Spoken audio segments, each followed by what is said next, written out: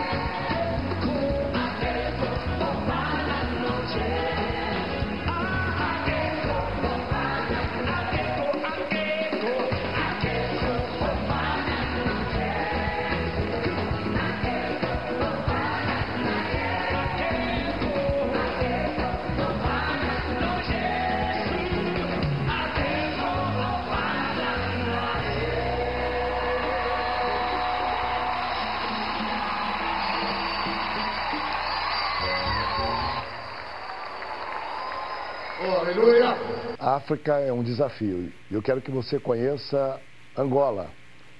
Que trabalho missionário que nós estamos realizando em nome do Senhor Jesus. Uma grande obra é feita de salvação, de bênção em Angola. Quero que você dê uma olhadinha nesse vídeo e a gente volta para comentar o que é que você acha do trabalho que é feito entre os angolanos.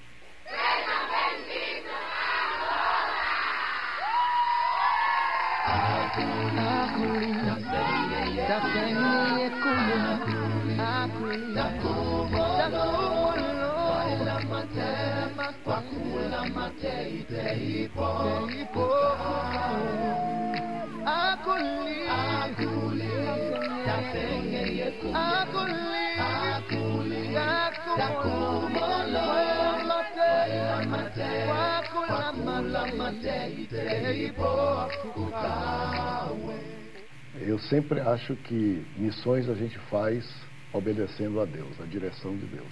Para onde Deus mandar, se deve ir. Mas o Brasil, como o maior país e mais desenvolvido país de língua portuguesa, ele tem uma responsabilidade imediata com os países de fala portuguesa.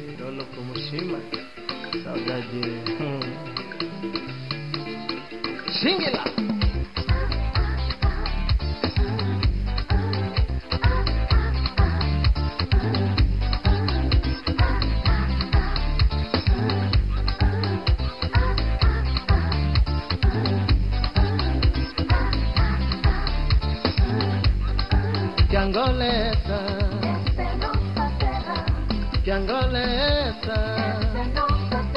Em 2000, o primeiro missionário foi para Angola. Bom dizer que Deus trabalhou tanto que levantou na Inglaterra a missão Visão Cristã, que estava procurando alguma igreja e algum, alguns missionários, porque na Europa não existiam, e descobriram que no Amazonas, a igreja do Amazonas era mais parecida com o ambiente da África.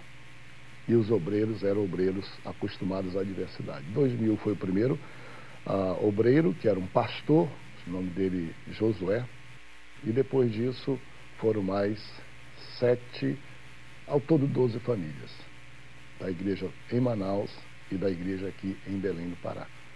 Sou missionário, enviado de Belém do Pará, da igreja mãe, nosso pastor Samuel Câmara.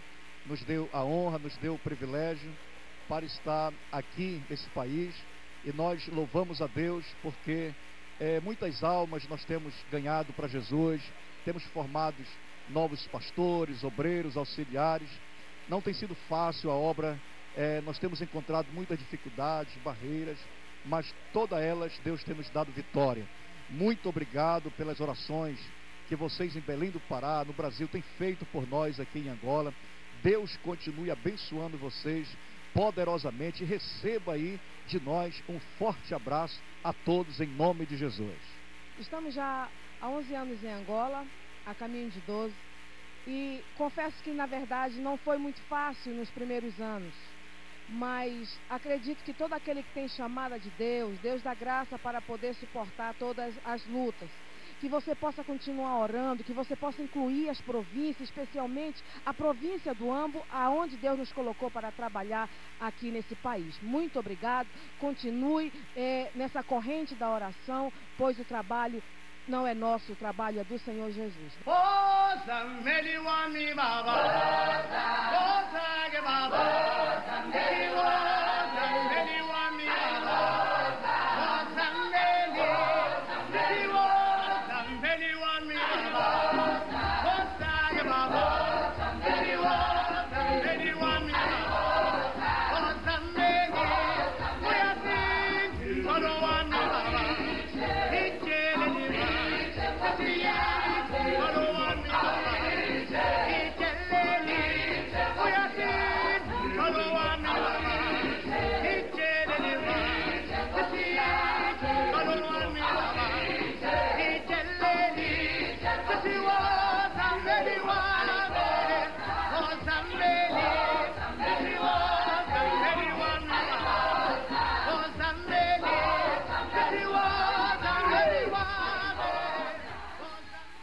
Pois é, gente, que ânimo ver obra missionária. Nós tivemos a nossa conferência missionária aqui. É bom que vocês saibam que a Assembleia de Deus em Belém, é, com a Igreja Assembleia de Deus no Amazonas, é, tem vocação para impactos missionários. Como vocês percebem, são poucas as igrejas. A gente ocupa espaços assim. A história é no Piauí, 37 missionários uma vez, ah, em Goiás, mais uns 30 missionários, na Paraíba, mais uns 30, na Bolívia, mais uns 30, né? em Equador, mais uns 30, em Moçambique, 100 missionários, em Angola, 12 missionários, como você está acompanhando.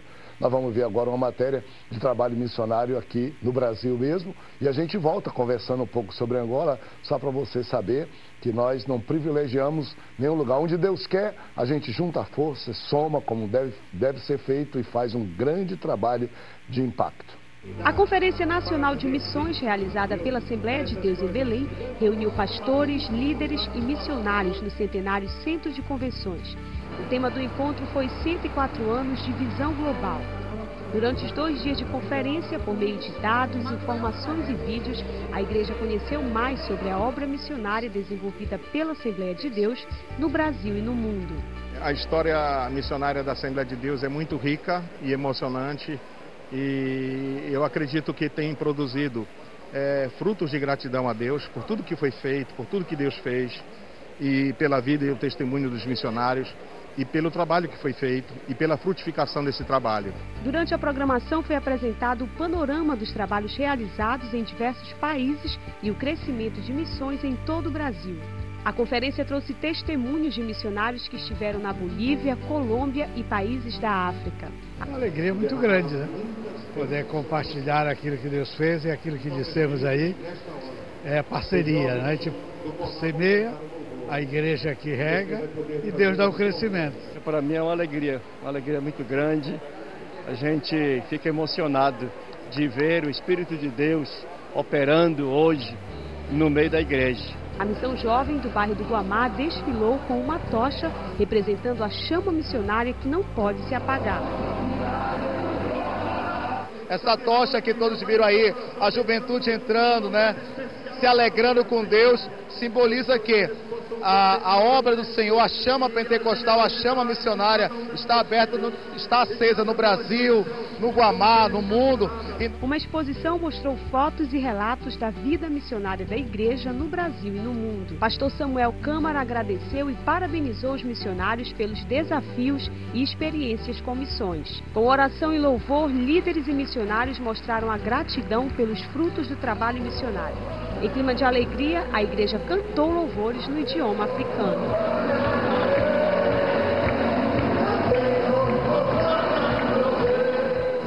Pastor Tiago trouxe informações sobre o trabalho de missões desenvolvido pela Assembleia de Deus no Amazonas, em Angola, Moçambique e no Timor-Leste. O que está acontecendo aqui na Conferência Nacional de Missões em Belém são trocas de experiências, são, são resultados daquilo que Deus tem feito nesses países. Hoje, só em Moçambique, mais de 32 mil pessoas foram alcançadas, são salvas ali naquela nação. A conferência também relembrou os 45 anos de missões missões no estado do Piauí.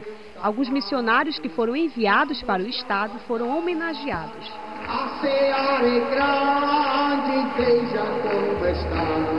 Agora a gente volta para Angola. Eu fiquei impressionado. Dez anos depois, gente.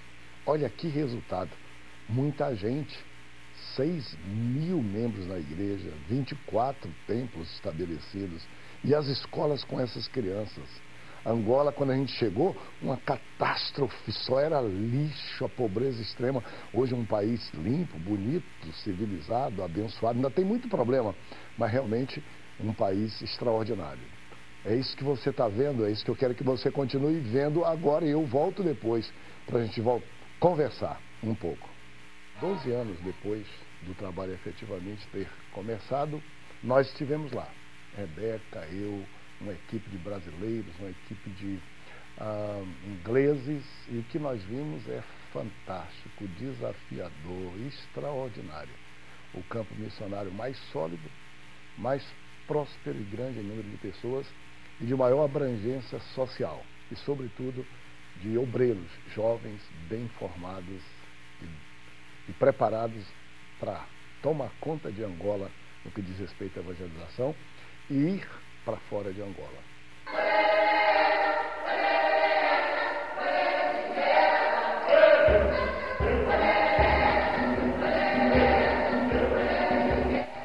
Oi, gente, nós acabamos de chegar aqui na primeira igreja, na nossa primeira visita.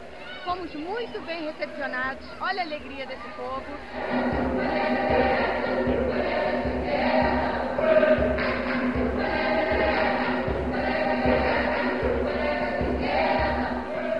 Eu sou o pastor Aguiar Sampaio, é, o pastor daqui da Igreja da Fofoca. A Igreja da Fofoca, ela alberga da verdade. A Igreja da Verdade, ela alberga mais de 100 pessoas.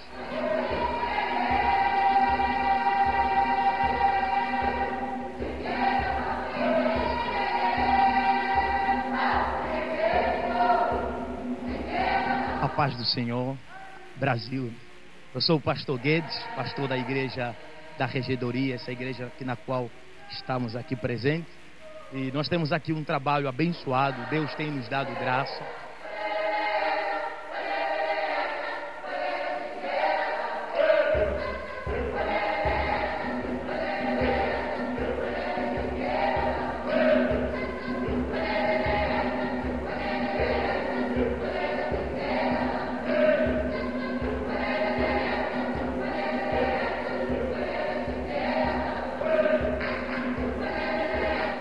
Pai Senhor, eu sou a pastora Cris, esposa do pastor Nelson Castro, e nós trabalhamos aqui no distrito de Rangel, propriamente na rua da Brigada 112. O Senhor tem nos abençoado muito aqui nesse lugar, Ele tem nos ajudado a trazer vidas para Deus, a resgatar aquelas que haviam se perdido, e graças a Deus o Senhor tem nos dado força, tem nos dado coragem para continuar a lutar e batalhar nesse lugar, que por sinal é um lugar muito populoso, é muita gente, é muita população, é muito trânsito, e nós conseguimos muitas das vezes correr atrás e à busca daqueles que se haviam perdido.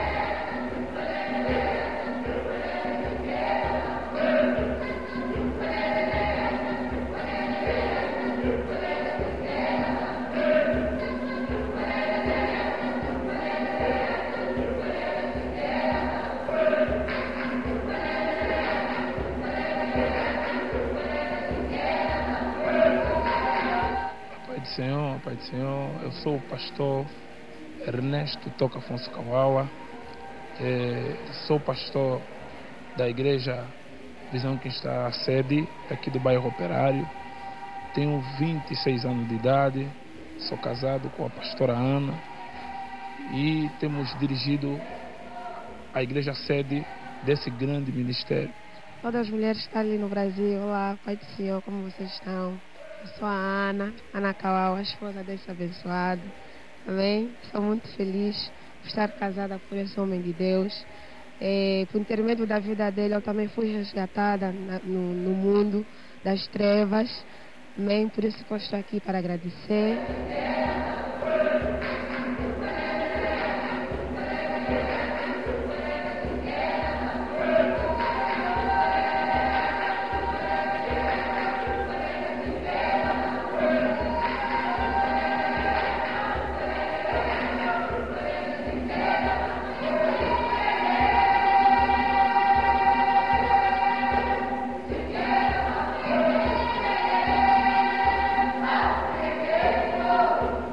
Senhor Jesus, eu sou o pastor Esdras Laurindo, sou pastor da Igreja Visão Cristã daqui do Capolo 2. Desde que chegamos aqui, Deus tem feito coisas abençoadas, vidas têm sido salvas, pessoas têm sido abençoadas, casamentos têm sido restaurados, tudo pela infinita graça de Deus.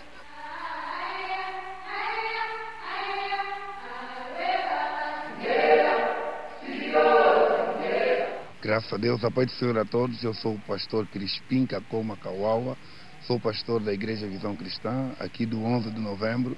É uma igreja praticamente nova, estamos aqui, completamos dois anos o, o mês passado e graças a Deus aqui é uma área fértil, uma área boa e com muita facilidade as pessoas têm a oportunidade de aceitar e ouvir a palavra do Senhor.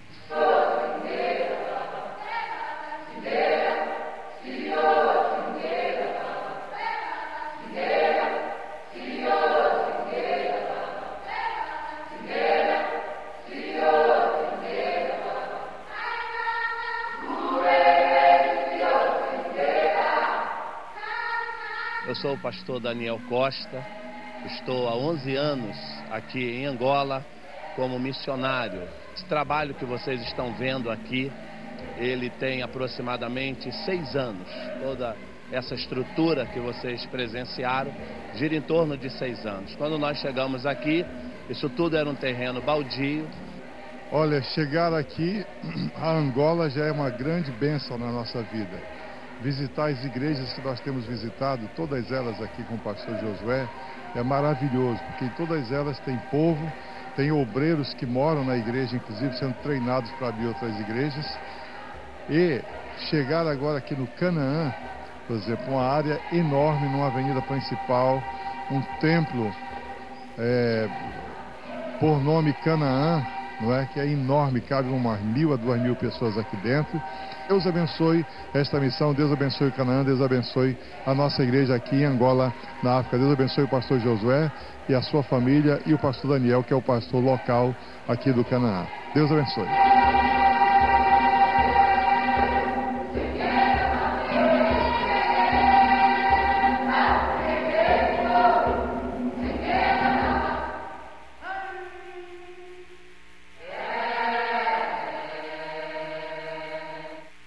Isso aí. Angola está pronta. Angola está pronta para mandar missionários para outros lugares. Nós vamos começar essas igrejas que começamos pelo trabalho missionário desses homens e mulheres que saíram do Brasil e agora se juntam a, a, a extraordinários líderes, todos eles jovens, animados.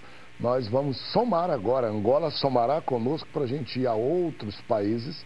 Ah, nós queremos concluir o trabalho com todos os países de fala portuguesa, como Cabo Verde, São Tomé e Príncipe até mesmo Portugal, que faz um século que a gente foi lá, e a obra foi fundada através dos missionários Plástico que mandamos e também José Matos. Nós queremos ver o trabalho, até mesmo em Portugal, mais forte, mais alegre, 100 anos depois. E essa obra missionária nunca para. Além disso, temos o Timor-Leste lá na, na, na, na Oceania, e além disso temos ainda Macau e Goa, lá na Índia, a Goa e Macau na China, são colônias portuguesas, eu digo assim. A obra missionária, Deus pode mandar a gente fazer onde for e nós vamos. Mas os países que falam português ou foram colonizados e alguém fala a língua portuguesa, é dever do Brasil apresentar salvo diante do Senhor. Por isso, aproveite esses últimos momentos do documentário sobre Angola e a gente volta para orar. Tomara que o seu coração missionário esteja tocando, fervendo, ardendo no Senhor Jesus. E eu tomara que você diga, eu também vou fazer obra missionária. E deixa eu dizer para você, uma das maiores obras missionárias é a Rede Boas Novas. Estamos durante essa semana, na semana da Missão Boas Novas, eu queria chamar você.